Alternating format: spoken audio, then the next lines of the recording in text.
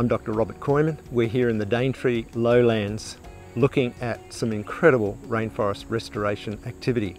I'm standing next to a rather amazing little tree. It's in, in the legume family in Fabaceae. It's called Castanospermum australe and it's an aboriginal food tree.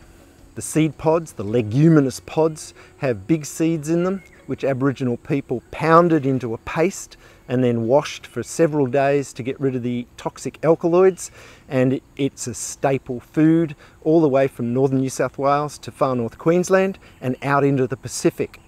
One of the great mysteries of course is how did it get moved around and was it Aboriginal people who moved it right through those areas from the South Pacific up into Papua and Indo-Malesia on the edges of those areas as well.